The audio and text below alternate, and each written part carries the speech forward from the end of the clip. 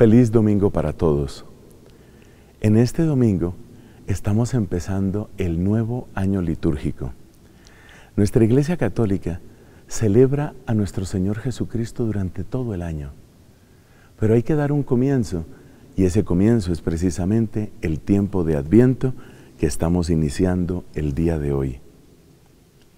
En lo personal, el Adviento es uno de mis tiempos litúrgicos favoritos porque apunta a una realidad muy profunda de nuestro corazón, la insatisfacción. Se nota en particular en la primera lectura de este domingo, tomada del capítulo número 63 de Isaías. Cuando nosotros hablamos de esa necesidad de Dios, estamos diciendo que ninguna otra realidad, ninguna idea, ninguna persona, ninguna criatura, ningún placer, nada de este mundo nos va a llenar. Esa es la grandeza de la insatisfacción y eso es lo propio del adviento. Cuando empezamos a experimentar esa insatisfacción, de verdad tendríamos que darle muchas gracias a Dios. Eso quiere decir aquella frase que tantas veces hemos repetido de San Agustín, nos hiciste, Señor, para ti. Nuestro corazón está inquieto, podríamos decir, está insatisfecho hasta que descanse en ti. O sea que el tiempo de Adviento es el tiempo en el que la iglesia dice, canta, gime con estas palabras, me haces falta. Es de las expresiones más bonitas que se dicen las personas que se aman cuando tienen que estar separadas.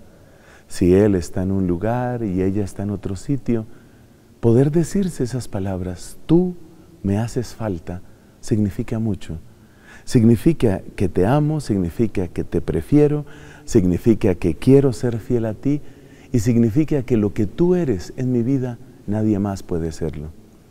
Pues el adviento es precisamente aquella época del año, del año litúrgico, época en la que la iglesia entera mira hacia Jesucristo, lo descubre en la gloria del cielo, se ve a sí misma todavía peregrina en la tierra y entonces le dice con tono enamorado, profundo y humilde, tú me haces falta, necesito de ti.